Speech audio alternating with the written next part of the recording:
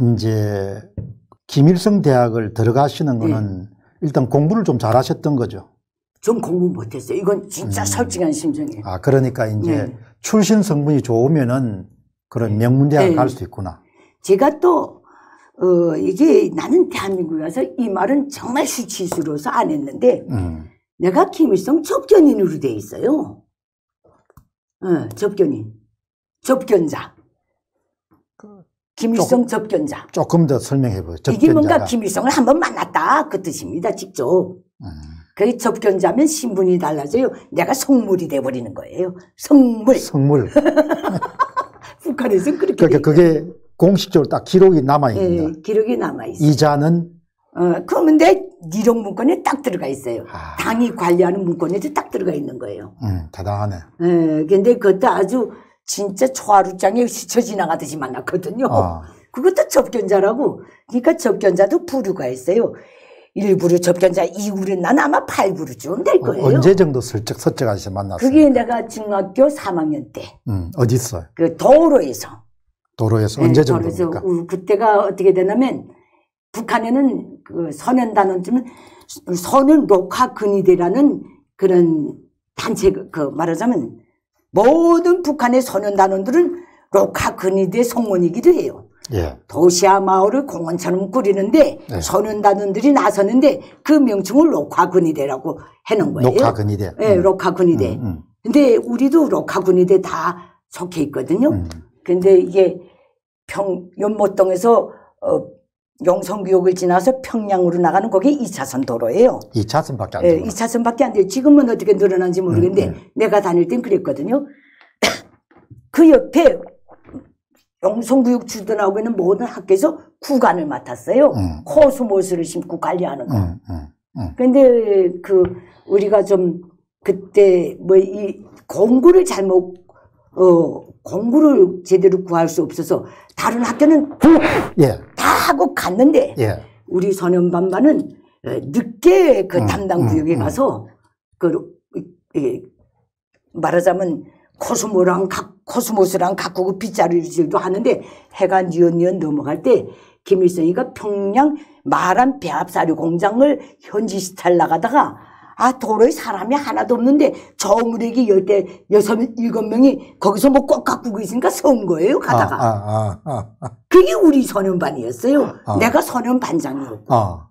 공부는 못했는데 근데 다른 소녀 그 네. 소년 반장은 적견자가 됐지만 다른 소, 이 저 친구들은 적견자가 됐습니까? 거기에 주run이 서 있던 애들은 다 접견자가 된 거예요. 세상에 역시 줄을 잘 서야 되구나. 네, 근데 그뭐 그러니까 야근 새 방학간 나라 지나간다고 열심히 한 것들은 죽게 일하고 어. 제 시간 똑 차서 일하고 다 퇴장해서 하교했는데 음. 우리는 제일 말썽이 있다니까 늦게 나와가지고 음, 늦게 하다니까 김일성을 만난 거예요. 음, 그럼 김일성이가 애들이 그렇게 일하니까 차를 우린 데다 세워놓고 뭐 차문 죽여고 뭐 내려도 안 서고 발 하나 쭉 내려놓고 애들이 왜 이 저녁에 여기서 이걸 하고 있는가 이걸 물어본 거예요. 음, 음. 그래가지고 어느 학교냐? 음. 에이, 영성중학교입니다. 몇 학년 몇 반이냐? 3학년 8반입니다. 왕을. 만난 거다. 에, 담임 선생은 뭐냐? 아, 김은실입니다. 이 애들이 이렇게 동네를 가꾸니 얼마나 복이 있었습니까? 뭐, 이, 이몇 마디 듣고 간 거예요. 아, 그러니 이제 앉은 자리에서 오서 꿈같이 우리가 접견자가 돼버린 거예요. 이게 접견자예요. 그러면 그게 네. 대학 들어갈 때 도움이 된 겁니까? 그렇죠. 성분에다 이것까지 들어가는데 음, 접견자라고 해서 또 다 대학 가는 건 아니에요. 음, 그런데 나는 기본 성분 때문에 갔죠. 음. 나는 정말 대학 가기 싫었어요. 내 공부에 자신이 없었거든요. 그 김일성 종합대학이면 참 네. 북한의 최고죠. 그거는 주체 과학의 전당으로 돼 있고 민족 간부 양성이 원종장으로 딱 돼 있어요. 음, 여느 대학은 김일성 종합대학은 종문이 보지만은 여느 대학은 고등교육성에서 다 보는 거예요. 아, 이 배- 레벨이 레, 달라요. 레벨이 다르구나. 예. 지금은 어떻게 되는지 모르겠는데 김일성 종합대학 생활은 어땠습니까? 군대와 똑같죠. 내가 대학 들어갈 때 내가 들어가는 해에 음. 김일성의 딸 예, 김경진이가 졸업반 졸업반이 있더라고요. 음, 음, 음. 또 내가 대학 들어갈 때 김일성의 에, 둘째 아들 김평일이가 나하고 같은 게 대학에 들어왔어요. 음. 음. 어, 같은 게 들어왔어요. 내가 대학 졸업할 때 김일성의 막내 아들 김용일이가 또 대학에 들어오더라고요. 음. 그때 되니까 김일성 의 자녀들이 다니던 기간에 우리가 다니다 나니까 우리가 대학이 그렇게 기억이 높았던 거예요. 음. 근데 그저 군대와 같이 다 돼 있어요. 그래. 에, 북한은 기숙 생활을 하셨죠. 아, 저는 평양에 집이 있다니까 자택생이었고 아, 지방에서 올라온 애들은 기숙사 생활 다 하죠. 음. 저는 군- 자택생. 군대 생활이라는 이야기는 뭐 거의 딱 갓 아침에 이런 시간에 다 저, 점호라고 합니까? 아니 그게 아니고 편제 자체가 군대로 돼 있어요. 음. 모든 학부는 연대로 다 돼 있어요. 음. 모든 과는 중대로 다 돼 있어요. 모든 학급은 소대로 돼 있어요. 그럼 그렇게 하는 거는 전시 체제가 되면은 동원이 가능하도록 하기 위해서 그러거든요. 아니면 나라 자체가 이제 군사적인 그런 거기 때문에. 그, 이 모든 대학은 저체제의 기득권 양성의 본거지기 때문에 음. 여기서부터 강철 같은 균을 이걸 음. 수립해야 된다는 거예요. 음. 그래서 딱 그렇게 돼 있어요. 음. 세계 유일무이한 나라일 거예요. 대학이 몽땅 연대, 중대, 소대, 대원으로 돼 있는 거. 음. 다 그렇게 돼 있어요. 조선 조선어 학부 나오셨고. 예, 조선 어문학부. 그럼 이제 우리나라로 하면 국문과네. 예, 국문과 고전문학과를 나왔어요, 제가. 음. 학교 생활 어땠습니까? 뭐 즐거운 기억들이 있습니까? 아니면은 뭐 아, 즐거운 기억보다도 고달픈 기억밖에 없어요. 고달픈. 아, 이 대학 공부가 반 군대 생활이거든요. 음. 우리 때는 또 김, 내가 72년도에 대학에 들어가서 73년도에 본과에 들어갔는데 김정일이가 74년도에 후계자로 내정된 다음에 매일 충성의 선서를 김일성 종합대학부터 시켰어요. 음. 아침에 출근하면 등교하면 그저 선서부터 하는 거예요. 선서부터. 매일 농촌동원 나가면 논밭에 서서 또 선서, 선서하는 거예요. 선서하려면 그럼 뭐 몇 분 정도 걸립니까? 아, 한 20분 걸릴 거요. 김일성 장군. 노래, 김정일. 아니, 그거는, 그 노래는 다 외우는데 선서문은 누구도 못 외워요. 그러면 세포비서가 소대장이 똑지고 앞에서 선창을 하면 따라 부르는 거예요. 대동강 호안공사 나오면 발 절반 물에 잠겨서도 또 이렇게 또 해야 돼요. 우린 그럴 때 살- 다녔어요. 근데 난 지금 종합대학 애들은 뭔지 모르. 우리는 정말 강철 같은 균일 속에서 음. 빼도 빡도 딴 생각 할 틈 없는 속에서 살아는 대학 공부를 해서 고달픈 생각밖에 없고 항상 잠에 쪼들리고 그것밖에 없는데 내가 그래도 내가 그 체제에서 어, 나올 수 없는 상황에서 그 측의 종합대학에 다닌 데 대해서 내가 감사한 측면이 또 있어요. 음. 그때는 마르크스주의로부터 주체 사상으로 넘어가는 단계에 내가 대학을 다녔어요. 구- 구체적으로 주체 사상이 음. 이 기자 입장에서 보시면 언제부터 이렇게 구체화됩니까? 그저 70, 70년대에 들어와서 72년, 72년. 아까 이야기한 그 김정일이가 예. 그 가문을 이렇게 우상화하는 그런 작업들이 일환으로 되다가 그 다음에 이제 문헌으로 이렇게 체계화한 거죠. 그건 저 황장엽 선생님이 직접 말씀하신 거예요. 제가 대한민국에 와서 황장엽 선생님 글 정리하는 비서를 좀 했댔어요. 아하. 에, 그, 지금은 국가안보전략연구소지만 그때는 통일정책연구소였어요. 음, 음. 그게 내가 연구위원으로 있었거든요. 음, 그때 황장엽 그 롤금 테이프도 나한테 다 있어요. 그분이 말씀하신 거. 과거를 범하고 뭐 이제는 김일성이가 자기 잡아뗄 날만 앉아 기다리는데 뭐 김일이를 만나가지고 아 이거 좀 도와주십시오 하니까 정치적 문제는 정치적으로 풀어야 된다 해서 거기서 상을 잡아가지고 자기가 마음속에 품고 있던 주체사상이라는 그 타이틀을 만들었다 이러더라고요. 음. 황장립 선생님은 음, 음. 그걸 만들어 놓고 나니까 자기가 막스보다 더 위대해 보이더라는 거예요. 음. 황정엽 선생님이 아, 아, 말씀이 아, 아, 아. 그 로금 테이프에 딱 들어가 있어요. 아, 아, 난 그래서 그거 앞으로 북한이 정리되면 꼭 국가에 기증해야 될 문제이기 때문에 음. 굉장히 중요하게 정말, 보관하고 있어요. 음, 음. 그 막스는 에이, 모든 문- 변증법적 유물론 여기서 뭐 이렇게 제일 높은 단계는 사회관계다. 사회관계는 생산력과 생산수단 음, 음. 뭐이 관계 했는데 이 유물 변증법 쪽에서 뭐 공산주의 이론을 풀었다. 자기는 막스주의를 밑변으로 놓고 그 위에 또이 변을 놓고 거기서부터 출발해서 음. 모든 사회관계에서 제일 꼭대기는 사람 중심이다. 음. 그래서 인간 중심을 창시했다는 거예요. 음, 음. 듣기는 안만 들어도 그게 언제는 뭐 개가 주인이었던 적이 있습니까? 난 그거 음. 들으면서 납득이 안 가더라고요. 70년대에다 그게. 그게 그 황정엽 선생님이 그때 주체사상의 원리를 발견했대요. 음. 그렇게 발견하고 보니까 금강산 만이천 봉우리가 발밑으로 보이더라는 거예요. 음. 자기가 마르쿠스 주의 배울 때는 만이천 봉우리 높이가 마르쿠스 같더라는 거예요. 음, 음, 근데 우리 황정엽 선생님은 철학가니까 음. 그렇게 볼 수도 있어요. 그럼요. 그럼, 네, 그건 어, 내가 이해해요. 음, 근데 이제 음. 황장엽 선생하고 얼마나 만났습니까? 그때. 한 제가- 기간으로 하면은. 한 5, 6년 아유, 그분이 글을 다 정리했어요. 그때 그분이 보셨구나. 예, 쓰신 훌륭한 글들은 내 손에서 다 정리됐습니다. 근데 음. 인간 중심 철학은 안 다쳤어요. 가나다 저게 시간, 시간 낭비하기 쉽지 않더라고요. 음. 북한하고 철학적 원리가 똑같은데. 어, 그래서 하루는 안 하겠다고 딱 선을 걷어요. 어, 이것만은 못 하겠다. 이것 때문에 내 여기까지 왔는데. 어. 그렇게 됐는데 이건 네. 여담이고. 여기까지 왔는데. 예.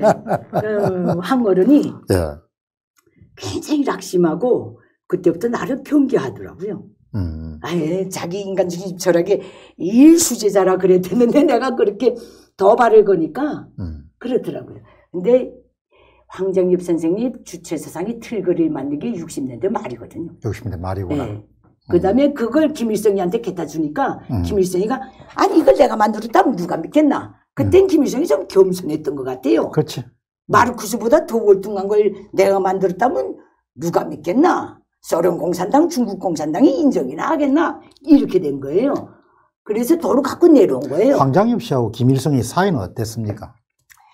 황정엽 선생님이 대한민국에 와서 그 김일성 비판을 안 했어요. 음, 그 김일성이 그래도 자기를 종합 뭐 대학에서 모스크바를 뭐 저 유학까지 보내주고 자기 이렇게 이렇게 이렇게 키워준 사람인데 우리 그그 그 그 삼강 오륜인지 무슨 어 뭐 여기만 봐도 내가 그거는 못 가겠다 김정일만 까겠다 음, 그렇게 된 거예요. 음, 그때 우리 탈북자 동지의 사무실에서 정치망명자 황정엽 선생님, 정치망명자 김덕홍 선생님, 망- 어, 탈북자 동지의 민족통일 잡지 편집장이었던 내가 있은 자리예요. 음, 음. 그때 김덕홍 선생님이 부락하지 화를 내더라고요. 형님, 그건 무슨 소린가고? 저 체제의 원뿌리가 김일성인데 김일성을 비판 안 한다는 게 말이 되는가? 형님은 봉건주의자입니까? 이렇게 질문을 하더라고요. 음, 그거는 내 사업노트에 날짜까지 다 등록돼 있어요. 음. 그때 나도 정신을 차렸어요. 나는 황 어른이 비판하는 거 인간으로서는 그럴 수도 있겠다. 그 생각을 좀 했댔는데 김덕홍 선생님의 말씀을 듣고는 이건 아니다는 거 분명히 했어요. 음. 어, 정치 망명자는 정치 망명자답게 어, 이거 소신을 밝혀야 된다. 왜 김일성의 비판을 못하는가? 그렇죠. 그거는, 이렇게 따지더라고요. 음, 그거는 옳은 지적이죠. 예. 예. 원뿌리를 하지 않고 객가지를 한다는 예. 이야기는 조금은 비겁하다고 이렇게 볼 수 있지 않습니까? 예, 그러니까 김덕홍 선생님이 형님이 그렇게 말하면 우리가 대한민국 땅에 있을 것 같습니까? 보수들이 우리 여기서 쫓아낸다고 그렇게 강경하게 말씀하시더라고요. 음, 보수 원로들이 우리를 용서할 것 같은가? 음. 그때 나도 정신 차렸어요.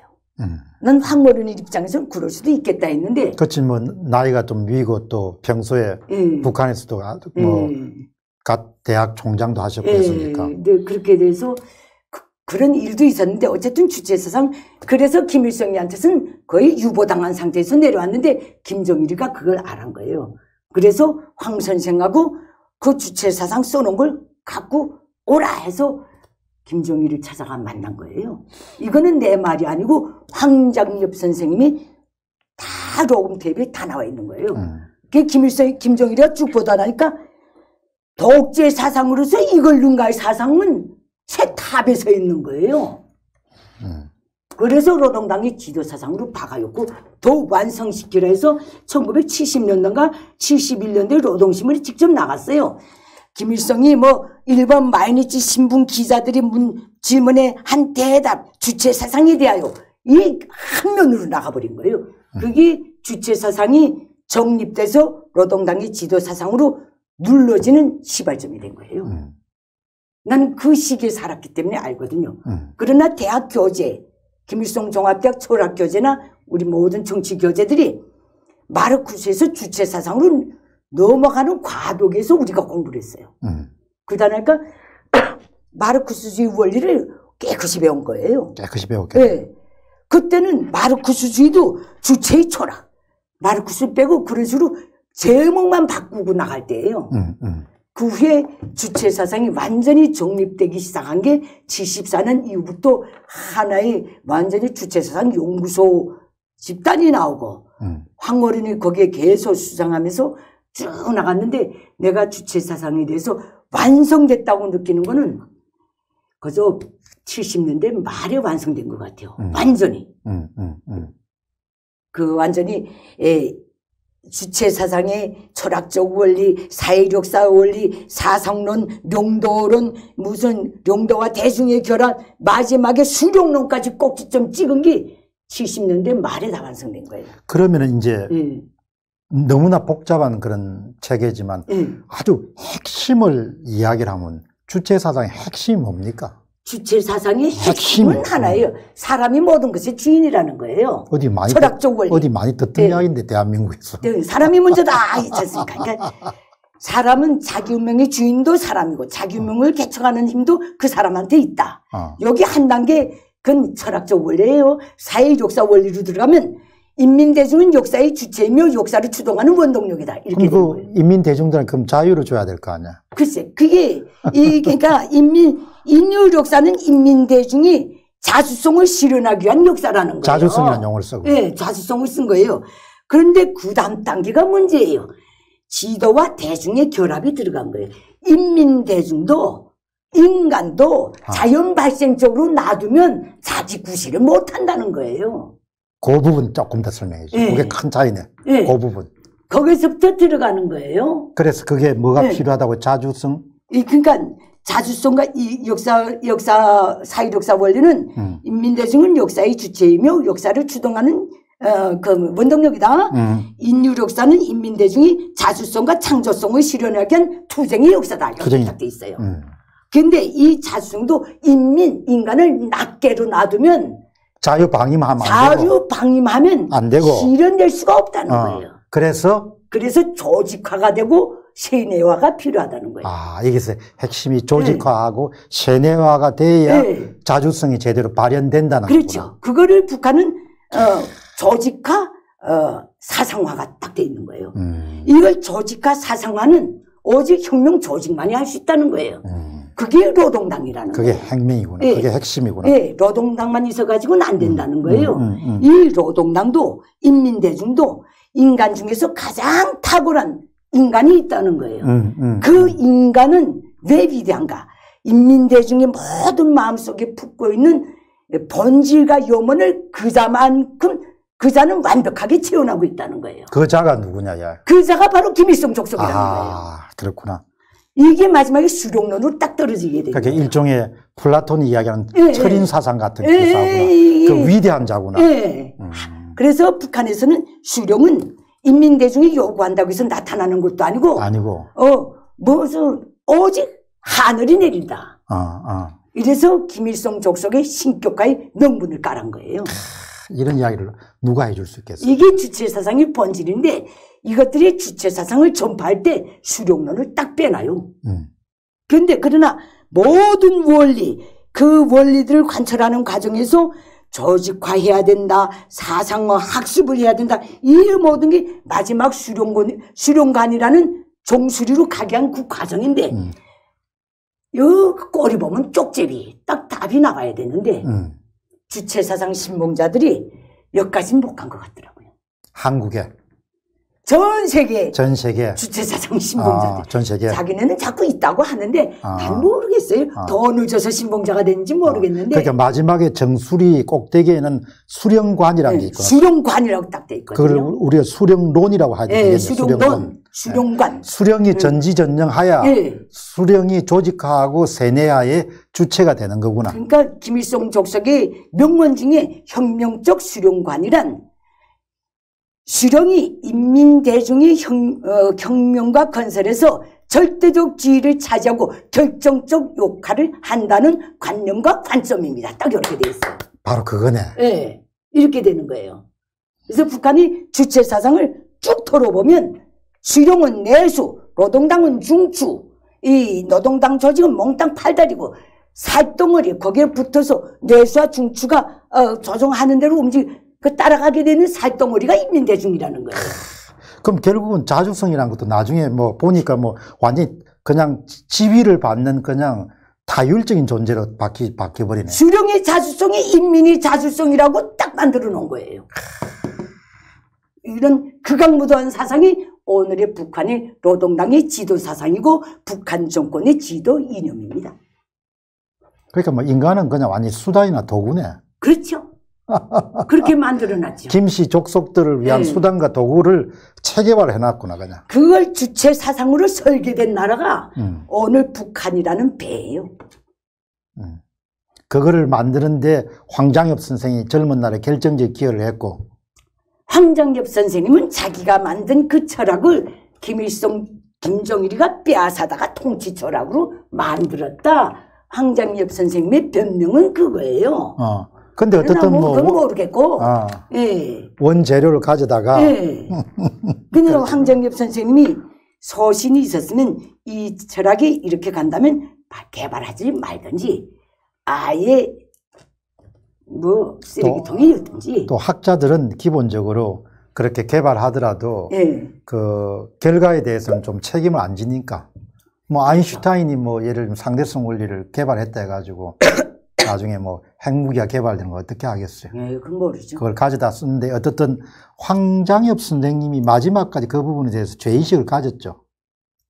자기 사상 체계가 그렇게 악용돼 가지고 북한 인민들을 노예화하는데 활용된 것에 대해서 저는 그 문제에 대해서는 잘 모르겠어요. 아, 그게 왜냐하면 음, 황정엽 선생님이 북한의 주체 사상 사람 중심 철학입니다. 음, 대한민국에 와가지고 인간 중심 철학으로 간판을 바꿨습니다. 음, 인간 중심 철학, 인생관, 무슨관, 무슨관 내가 다 가지고 있어요. 음, 북한에서 사람 중심 철학의 원리들, 사회력사 원리를 그대로 박아놨어요.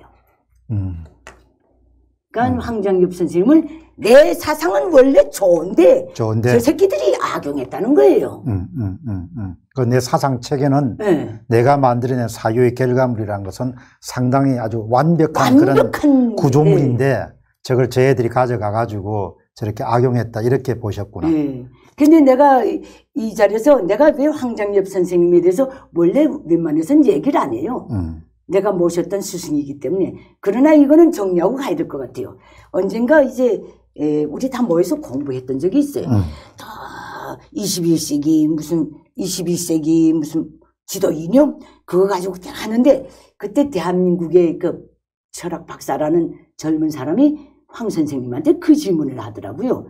이 사장님 그러면 이 사장님은 이 주- 인간 중심 철학을 미국 어, 미국이 받아들인다면 아, 아, 이건 미국 사람들도 이걸 알아야 돼 마지막에 결 황어른이 그렇게 말씀하셨어요. 음, 미국 사람들도 이걸 알아야 돼. 이게 인류의 미래야. 이래 놓은 거예요. 그러니까 그 앉아있던 그분이, 예, 그러면, 예, 선생님은 이 인- 인간 중심 철학을 미국이 받아들이면 그 사람이, 예, 우리 한반도가 미국의 한계 주가 돼도, 어, 되겠, 좋겠습니까? 이렇게 물어봤어요. 그런 식으로. 음, 좀 음, 약간 약간 공격적인 질문. 네, 공격적인 질문인데 우리 황 선생의 말씀이 압권이더라고요. 자기는 이 주체 인간 중심 철학을 미국이 받아들이고 국가 정책으로 어, 승화시킨다면 한반도가 무엇이 믿게 주가 뭐되든 뭐든 관계를 안 한다는 거예요. 그때 나는요 진심으로 격분했어요. 미국이 받아들일 일도 없거니와 아직도 그런 관점을 가지고 있는 데 대해서 북한을 저생지옥으로 만들어 놨으면 됐지. 그 끝에 자기 철학에 대한 애착은 이해하겠어요. 음, 그건 애착은 이해하죠. 그러나 그런 야망을 품는 데 대해서는 감히 그렇게 발언하는 데 대해서는 야 용납이 안 되더라고요. 음. 그것도 내 로금 개입에 다 있습니다. 그리고 또 이제 예. 그런 체제에서 고초를 겪으셨으니까 더 그렇게 예. 그 이야기가 나오는 것에 대해서 굉장히 좀 화가 났겠네. 그러나 나는 그거는 그 사람이 개인의 체현된 문제고 음. 그러나 황정엽 선생님이 무슨 이유에서든 어떤 명분을 어, 속으로 생각하고 대한 어, 망명에서 대한민국에 왔건 간에 그거는 차치하고라도 당 북한 체제의 노동당 사상 담당 비서로서의 타이틀을 가지고 정치 망명 대한민국으로 함으로 해서 체제 경쟁에서 북한의 군간을 흔들어 놓고 꺾어놓은 데 대해서는 황정엽 선생님이 지대한 업적은 항상 존경합니다. 음. 하, 예.